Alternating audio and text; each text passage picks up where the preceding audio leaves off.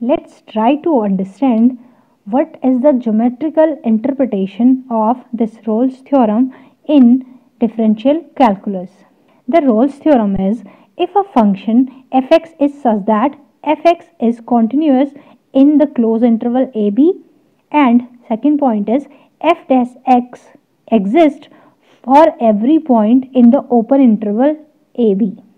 We write this open interval either in this form or in this form. Okay, this f dash x means the function fx is differentiable and the third point is if fa equals to fb then there exists at least one value of x say for example c where c is lies between a and b such that f dash c equals to 0.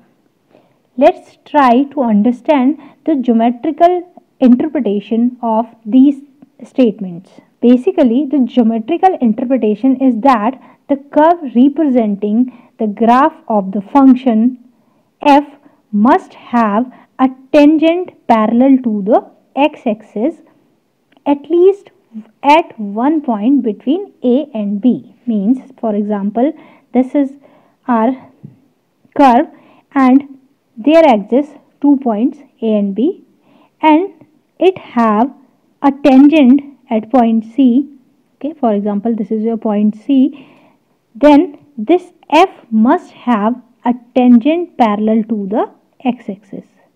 Means when the slope is 0 the tangent parallel to x-axis means that slope of a tangent at point this C is 0 in other words that any real valued differentiable function that attains two distinct points must have at least one stationary point somewhere between a and b that is a point where the first derivative is 0.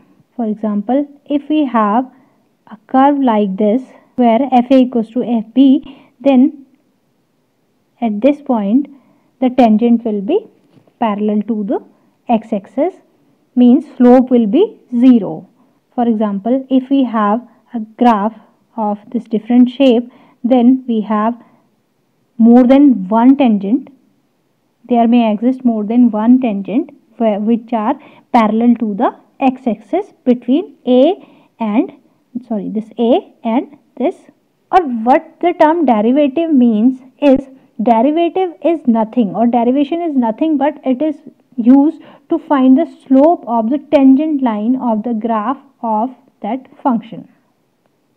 Okay, your derivative is nothing but the slope of the tangent line.